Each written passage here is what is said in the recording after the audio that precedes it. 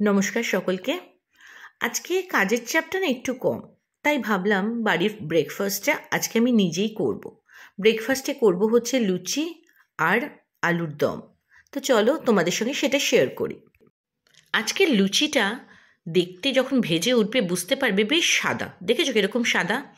আমি এই লুচিটাকে শুধু ময়দা দিয়ে করিনি কিন্তু, এর সঙ্গে ময়দা আর আটা সেভেন্টি থার্টি প্রপোর্শনে মেশানো। লুচি আজকে করব, তার সঙ্গে আলুর দম তো করব, আগেই বলেছিলাম আলু সেদ্ধ করা আছে আমার এখানে। তো সেই জন্য আমি তেলটা গরম করে নিয়ে আলু অলরেডি কড়াইতে ছেড়ে দিয়েছি।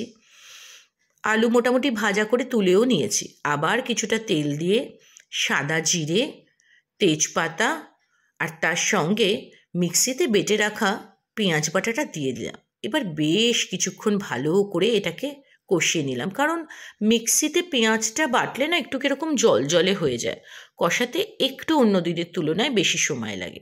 এরপর দিলাম আদা রসুনের পেস্ট আর হলুদ গুঁড়ো। আমি কিন্তু এটা সর্ষের তেলে রান্না করছি। তারপর দিলাম লঙ্কা গুঁড়ো আর হচ্ছে জিরে গুঁড়ো। সব কিছু পড়ে গেল। ব্যাস, এবার আরেকটু ভালো করে এবার এটাকে কষাতে হবে। তার সঙ্গে অবশ্য নুনটাও দিয়ে দিয়েছিলাম। কারণ নুনটা না দিলে না মশলাটা বেশ ভাজা ভাজা হয় না ভালো করে। তো এই যে টোটাল যে মিশ্রণটা তৈরি হলো, এটাকে বেশ খানিক্ষণ নাড়িয়ে চাড়িয়ে নিলাম। আমার এই যখন এটা ভাজা হয় না, গন্ধটা এত ভালো লাগে, তার সঙ্গে দিয়ে দিলাম কিছুটা কাশ্মীরি মির্চ। কাশ্মীরি মির্চ দিলে লালটা বেশ ভালো দেখতে আসে, তার সঙ্গে চিনিটাও দিয়ে দিলাম। আরও একটু কালচিটা টাইপের কালার আসে, এই যে দেখো, আমার খুব পছন্দ এই কালারটা। তার সঙ্গে ছেড়ে দিলাম, ভেজে রাখা আলুগুলো। এই মশলাটার সঙ্গে না আলু দিয়ে একদম ভালো করে কষিয়ে নিতে হবে। আমি একটা হুইসেল দিয়েছিলাম প্রেশার কুকারে, বাট নতুন আলু তো তবুও ভেতরে না একটা শক্ত থেকে যাওয়ার প্রবণতা থেকেই থাকে। আর আজকে আমি একদম আপ্রাণ চেষ্টা করছি ভীষণ ভীষণ ভালো করে এই আলুর দমটা তৈরি করা আমি যখন যে কাজটা করি না, চেষ্টা করি ভীষণভাবে গুছিয়ে করার। তো যাই হোক, তোমাদের সঙ্গে কথা বলতে বলতে এখানে পড়ে গেল হচ্ছে গিয়ে তোমার গরম মশলা। আমি তো ব্যাক ভয়েস করেছি, কারণ তোমরা বুঝতেই পারছ। সেই সময় রান্না করতে করতে না কথা বলে আমার ঠিক রান্নাটা না মানে হান্ড্রেড পারসেন্ট আমি মন দিতে পারি না। মানে এটা আমার প্রবলেম হয়, আমি জানি না তোমাদের কি হয়। তো আলু একদম প্রায় একদম কষে এসছে, এখন আর আর কষানোর মনে হয়, আমার মনে হচ্ছে আর দরকার নেই। সেই জন্য আমি কিছুটা জল দিয়ে দিলাম। জল দেওয়ার পর, না, আমার ঠিক মন মনোপ্রুত হলো না আর কি ব্যাপারটা। মনে হচ্ছে একটু জল লাগবে, তো আরও একটু জল দিয়ে এটাকে আমি কিছুক্ষণের জন্য ঢেকে দেবো। বেশ কিছুক্ষণ ঢাকা থাকবে, মিনিট পাঁচেক তো রাখবই। তারপরে ঢাকা তুলে নিয়ে, ও ওয়াও, কালারটা কিন্তু দারুণ এসছে। খুব ভালো লাগছে ফুটছে। হ্যাঁ আমি এই আলুর দমটা ফোটানোর সঙ্গে সঙ্গে অন্যদিকে না, আমি কড়াইশুটিগুলো সেদ্ধ করে রেখেছিলাম। সেই কড়াইশুটিগুলো আমি এখন ছড়িয়ে দিচ্ছি।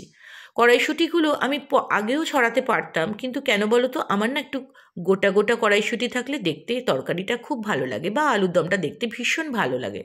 এটা একদম অ্যাকিউটলি আমার মতামত। আমি জানি না তোমাদের কি হয়, যদি তোমরা কেউ এত দূর পর্যন্ত ভিডিওটা দেখো, অবশ্যই কমেন্ট করে জানিও প্লিজ তো এটা মোটামুটি হয়ে এসছে। টকবক করে ফুটছে, আর দরকার নেই এটাকে রেখে দেওয়ার। মোটামুটি কমপ্লিট এবার আমি গ্যাস বন্ধ করে দিয়ে আরেকটা নতুন কড়াই মানে অন্য আর একটা কড়াই বসিয়ে নিলাম। তাতে বেশ খানিকটা সাদা তেল দিয়ে দিলাম। কারণ মোটামুটি আমার বাড়ির লোক সংখ্যা তো তোমরা জানোই, একটা দুটো লুচি তো হবে না, অনেকগুলোই হবে। আর প্রথম লুচি যখন ফোলে না, ব্যাস, আমার কাজে আরও বেশি মন লেগে যায়। লুচি না ফুলে মুডটা একদম বিগড়ে যায় আমার। আমি একটু মুডি অবশ্যই আছি, সেটা আমি স্বীকার করি।